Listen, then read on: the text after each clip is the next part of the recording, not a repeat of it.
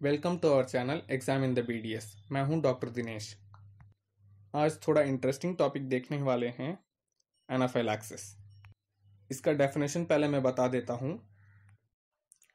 Anaphylaxis is a potentially life threatening systemic allergic reaction caused by the release of histamine and cell mediators इसका meaning ये है कि हमारा body ऐसा भी एलर्जिक रिएक्शन प्रोड्यूस करता है जिससे हमारा जान भी जा सकता है।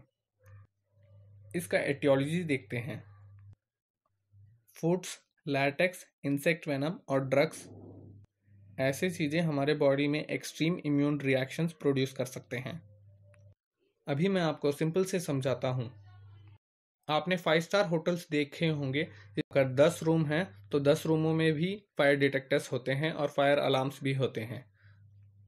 अगर हम उसमें से किसी एक डिटेक्टर के पास मैस्टिक जलाते हैं या थोड़ा सा धुआँ पास लेके जाते हैं तो सारे के सारे दस रूमों में बारिश जैसे पानी गिरता है। एनाफाइलैक्सिस कुछ ऐसे ही टाइप का रिएक्शन है।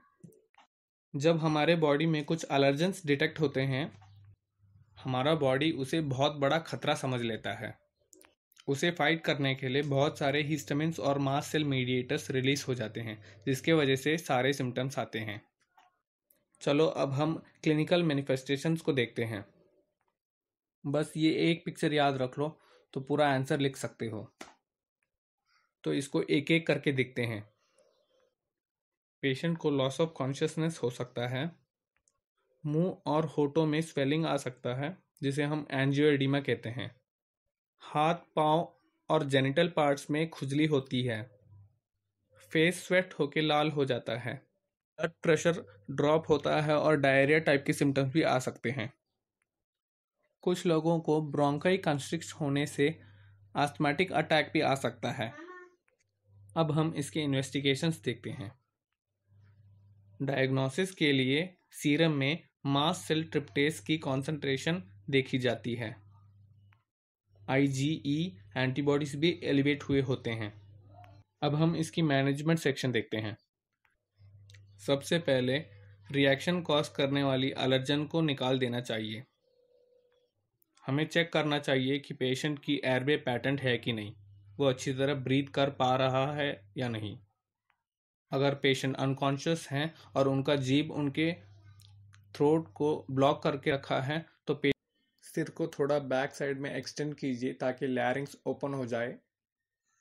और इमीडिएटली एड्रेनालिन इंजेक्शन देना चाहिए। Point three to point five M L one is to thousand ratio में। अगर पाँच से दस मिनट में उनका सिम्टम्स सबसाइड नहीं हुआ और उनका कंडीशन वैसा ही है तो एक और डोज दे सकते हैं। साथ में हम उनको एंटी हिस्टामिन एडमिनिस्टर करते हैं क्लोरफिनामिन और कॉर्टिकोस्टेरॉइड्स भी दिया जाता है hydrocortisone 200 hundred M G anti antihistamines already release हुए हिस्टामिन के रिएक्शंस और सिम्टम्स को कंट्रोल करते हैं, ताकि वो हिस्टामिन्स फर्दर सिम्टम्स ना क्रिएट कर पाएँ। और कॉर्टिकोस्टीरॉइड्स इम्यूनोसप्रेसेंट जैसे काम करता है, ताकि अनवांटेड इम्यून रिएक्शंस फर्दर ना आए।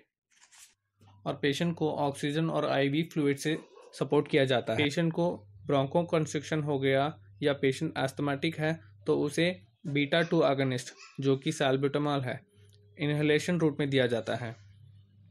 और जब पेशेंट इसमें से रिकवर हो जाता है तो पेशेंट को हमें एजुकेट करना चाहिए कि जो जो एलर्जेंस हमें ऐसे रिएक्शंस प्रोड्यूस करते हैं उन एलर्जेंस को अवॉइड करना ज़रूरी है।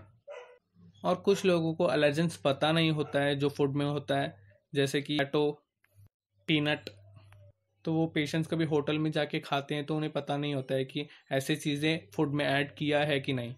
और हम और एनाफाइलैक्सिस रिएक्शन कभी भी स्टार्ट हो सकता है तो उसे कंट्रोल करने के लिए self injectable adrenaline kit prescribe करना चाहिए। उस किट में ज़रूर दो इंजेक्शन होने चाहिए। और पेशेंट और पेशेंट के फैमिली वालों को उस इंजेक्शन को यूज़ करने के लिए सिखाना चाहिए।